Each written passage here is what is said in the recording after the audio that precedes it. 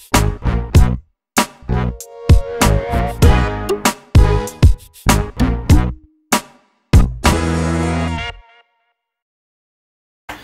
everyone, welcome back to another Cut Above with Chris.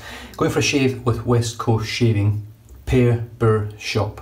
Now this has been all over YouTube at the moment, obviously all the main artisan, uh, main YouTubers or wet tubers have been sent this soap out, including myself, which is very kind of West Coast Shaving and obviously Chris Cullen over at Katie's Bubbles and Vida over at Oleo Soapworks.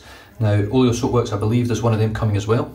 I'm not sure what the scent will be or whether it'll be the same scent and I can compare the bases but I don't think I've actually used Katie's Bubbles shaving cream before. So this is the jojoba shave cream. Is that going blurry? Looks really blurry. Could just with my eyes. Now, cooling fruit barbershop scent. The ingredients on here, as you can see, the labels are really nice, really clean, fresh labels. They're a little bit squint, so it does annoy me a little bit. You know me with my labels, they've got to be on there straight. So there's the ingredients list right there. So the ingredients are stearic acid, water, coconut oil, potassium hydroxide, fragrance, jojoba oil, sodium hydroxide, sodium lactate, uh, lactose, lactate, sodium lactate and glycerin. Very small writing, no glasses on. So not much in it, it is barcoded which is pretty good obviously for shops and stores who want to barcode the stuff which is awesome. And then you've just got this lovely clean fresh label which looks really blurry, is it? Fucking don't know, looks shit house. But yeah, four ounces of soap. Now the scent.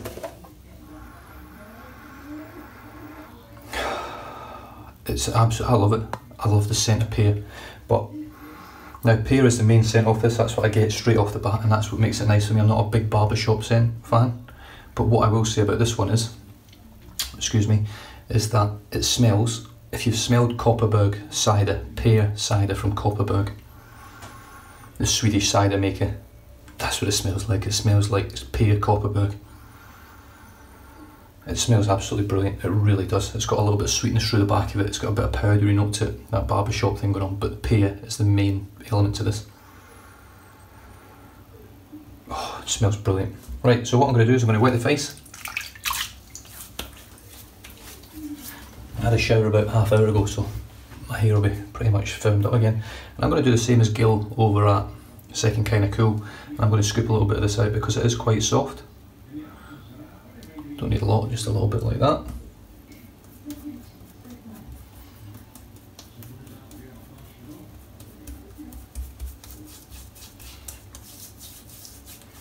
Straight away I can actually feel the menthol, which is surprising because I can't really smell the menthol, it's well hidden in there. Is there menthol in this? Did it actually say menthol? I don't remember reading menthol. Huh. It does not say menthol on here. So where is the cooling coming from?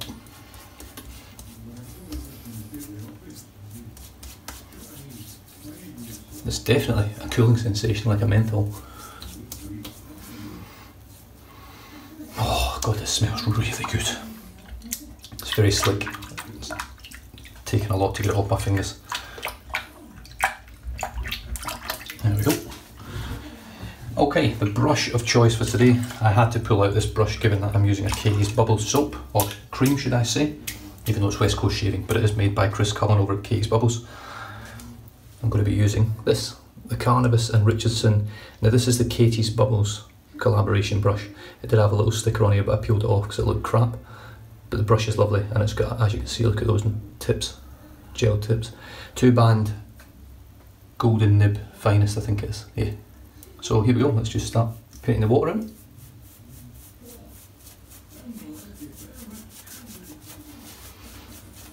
Yeah, cooling sensation is lovely. So I don't know whether I've missed something here with the ingredients. But one of these things is actually a substitute for menthol. I don't think it is. It looks almost to me like it's been missed off the ingredients list if there is indeed menthol in here, but it does feel cool to the just cool on my skin.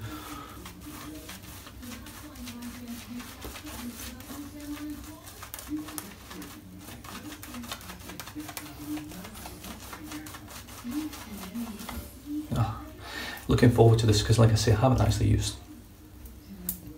there's too much water in the brush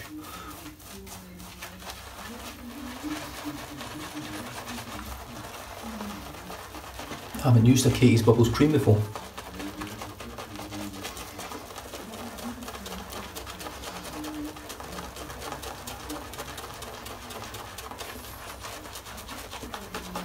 So it looks like a soap in the tub, but it's very, very soft. Like this brush is, the knot in this brush.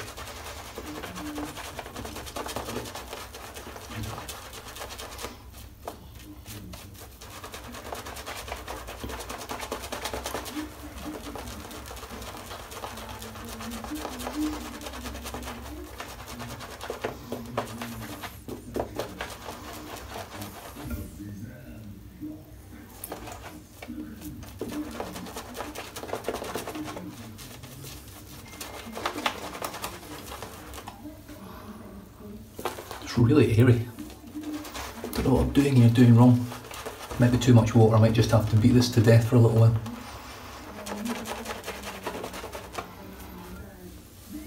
Cooling sensation is lovely. It's just enough.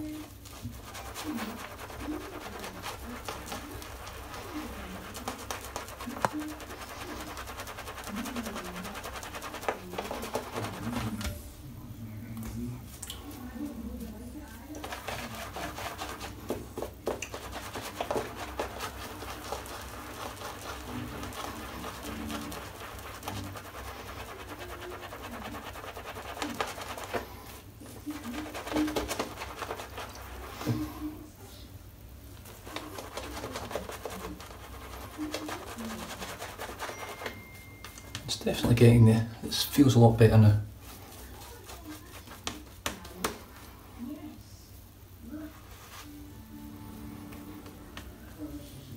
The scent's lovely.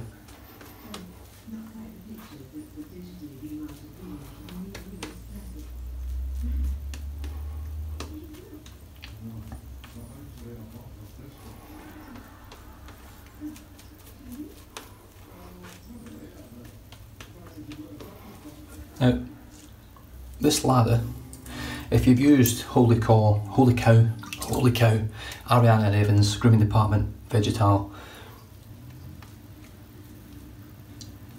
Tallow + Steel, Noble Otter, all those soaps, Barrister and Mann, they give you a very rich, dense lather. Now this is a very dense lather, but it's very light. It's almost, uh, it doesn't feel quite as luxurious on the skin, for me. But we'll see how it shaves. I mean obviously lathers up really well. That's still very airy. I don't know what I've done here. I don't know whether I've not added enough water. I don't know. It feels like that. Looks spot on.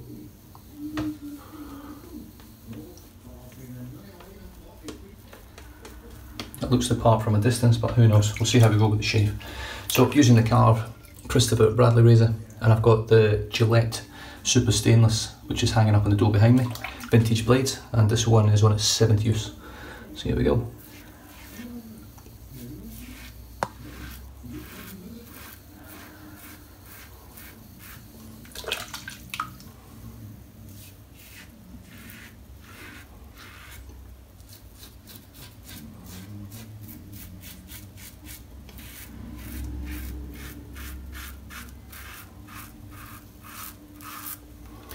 Cooling sensation is spot on.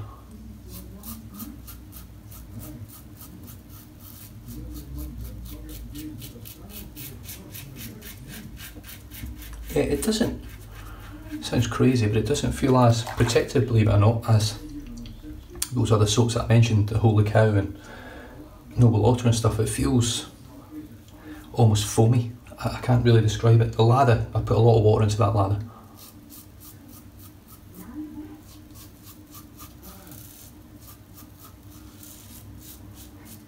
Very slick though.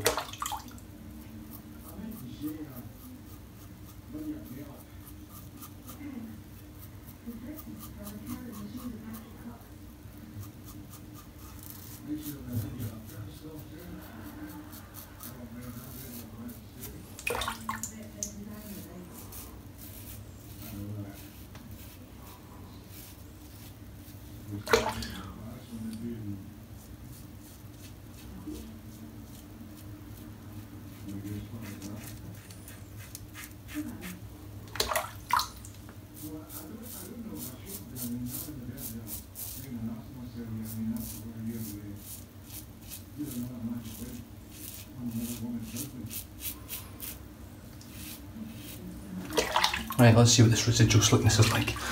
Scent's brilliant. The cooling menthol, or whatever's in here. Now, no camphor is a derivative of, derivative, derivative of menthol, and it's it cooling as well. Yeah, this is really slick.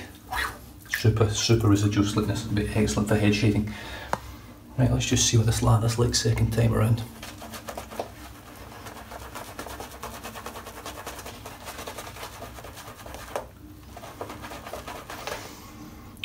It's a really, really nice scent. Scent strength around about five off the tub and a good five when you're lathering it.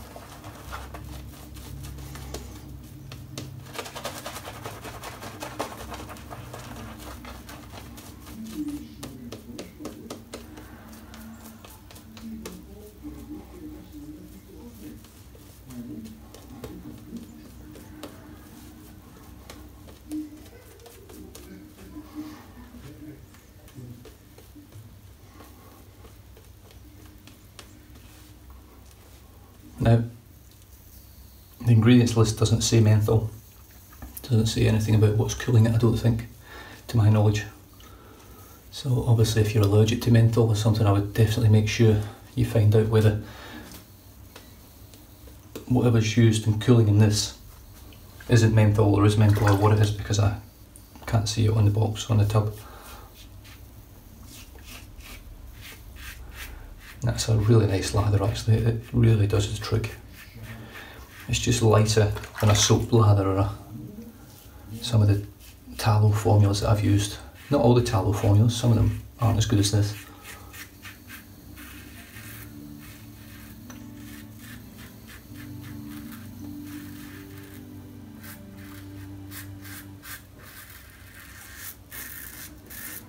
I mean just based solely on performance.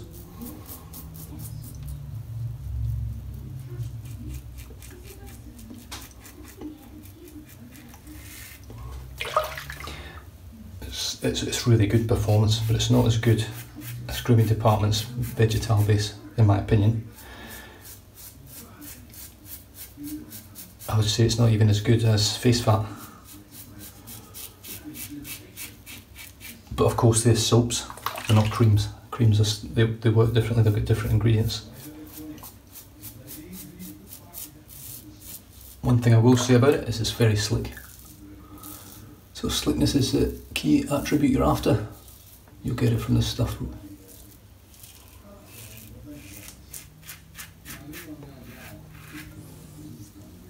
Its performance spot on, I can't really grumble with it i'm not grumbling with it. I'm just trying to give you an idea of what it feels like to me when I'm using it. The menthol sensation, the cooling sensation, stays pretty much the same from the first lather. It doesn't actually get any more intense. So if you're not a major fan of menthol or cooling things and the soaps that cool your skin and gets colder and colder, this doesn't do that. It just sits the same, which is which is nice. Definitely an amazing summer scent.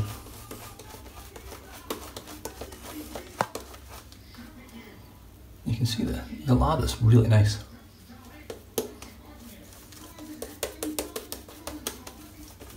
But the scent, I don't know who's done the scent. I don't know whether Chris Cullen over at Katie's Bubbles or Vida over at Oleo Soapworks has done this scent, but it is spot on.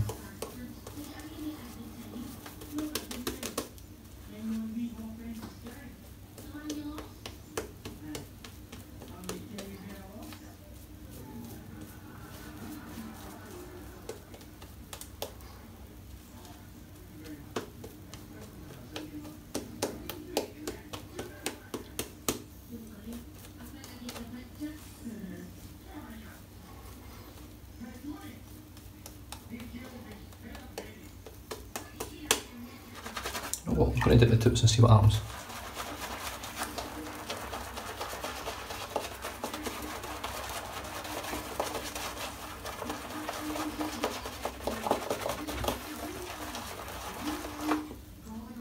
Yeah, it's just turned airy, that's what's happened.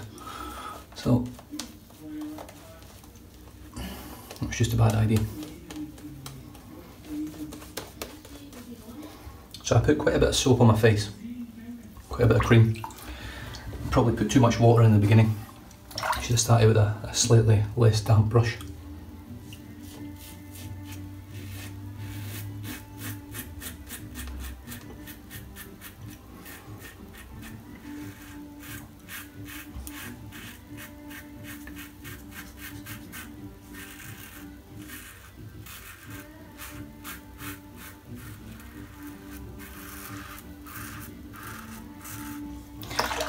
Definitely be using this soap next time with the synthetic. I might even use it in my next shave. I'm really enjoying this scent.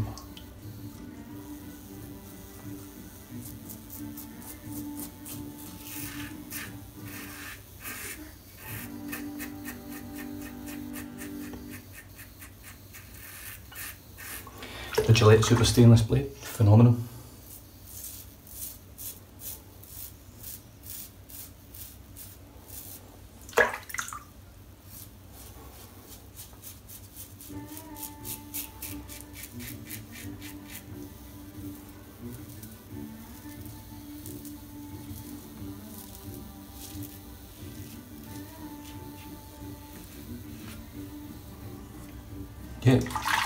Excellent performance from the cream I've got to say, even though that was really watered down.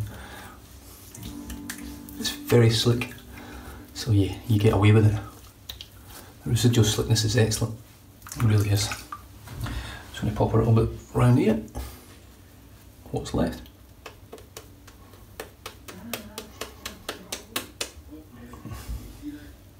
It actually opens up a little bit the scent on it.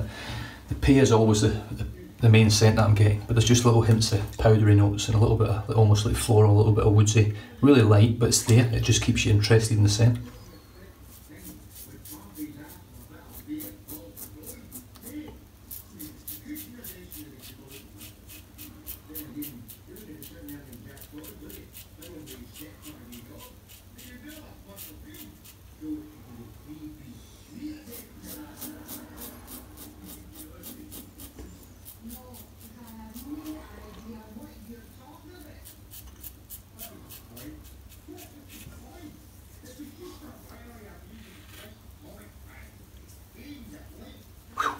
Spot on. It dissipates in the water as well when you rinse it off, it just melts away in the water, you're not left with any residue pretty much around your sink or on your razor, which is good. Another bonus.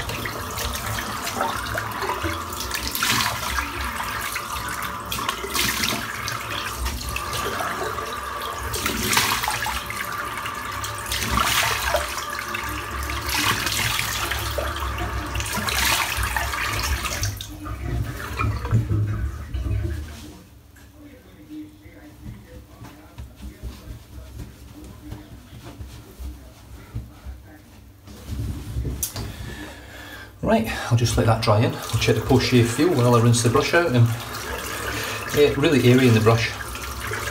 I'll need to figure out how to lather this stuff right.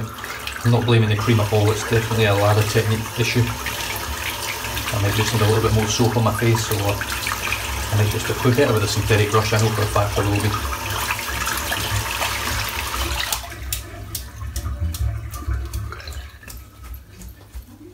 Okay, tips on that, superb.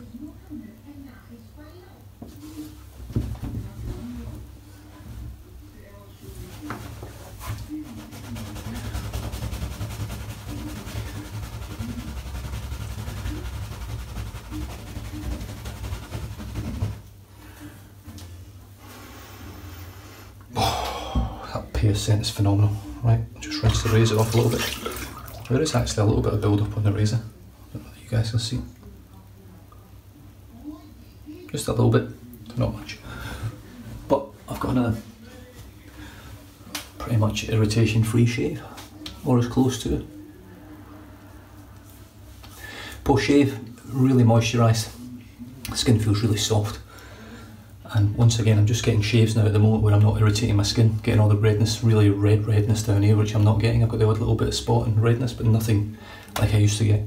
But I put most of that down to this Maol Grooming aftershave splashes. Now this one is Frosted Frankenlime, which is pretty cool little logo on there, you get the lime in the middle. Now there is orange and lemon and other things in here, but really, to be honest with you, I think there's a bit of wood as well in this one. When I smell this, it's just super limey. That's what I get. That's the main scent I get from it. It is very three splashes, three drops.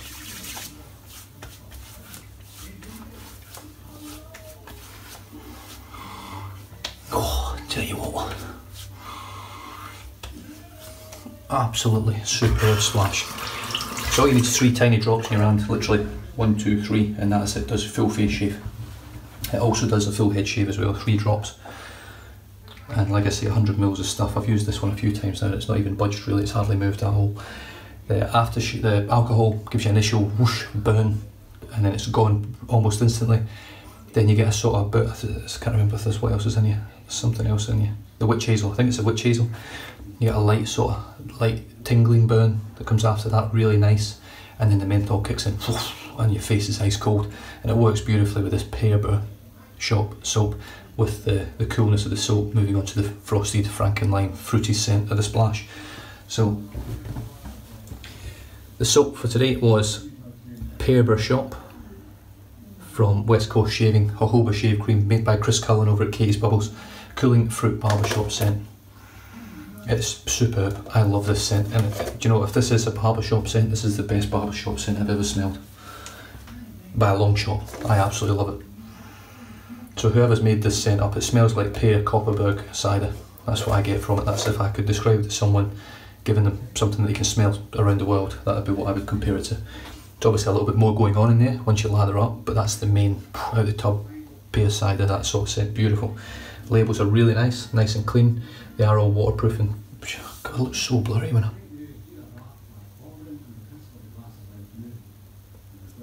I don't know what's going on with that probably not blurry, it's maybe just my eyes are screwed. The brush for today was the Katie's Bubbles and Carnavis and Richardson collaboration brush, which is a lovely, lovely brush, really nice. Solid aluminium, turned, and it's uh, it's just a stunner. The knot in it is phenomenal. It doesn't have much backbone, it's very floppy, but it's so soft to the touch and it makes an amazing lather. The razor was the Karve Christopher Bradley razor, C-plate 0.85 blade gap and the 7th use on one of these vintage Gillette Super Stainless Australian made blades. And finished off today with none other than Maol Grooming Frankenlime frosted version which for me is splashes are off the charts, incredible. And I'm not sure whether West Coast Shaving have them yet or whether they're planning on stocking them but I think you'd be pretty mad not to have them in your store because for me, there's not many things better on the market and I've used a lot of post-shave splashes. That feels incredible. Just brilliant. What a shave. So congratulations to Chris Cullen and Vida who collaborated, I think, over the scent. I think, I know it's different soap bases, but I'm not sure who's done the scent, but this is phenomenal. Absolutely phenomenally scented. Very, very good cream. It's not as good as some of the creams that I use, but I haven't quite dialed this in yet, so give me a few more goes with it with the synthetic and try and maybe a bowl lather and then a loading the brush from the tub and see how I go from there. But other than that, stay safe, drive safe, don't drink and drive, and I'll catch you guys next shave. Cheers.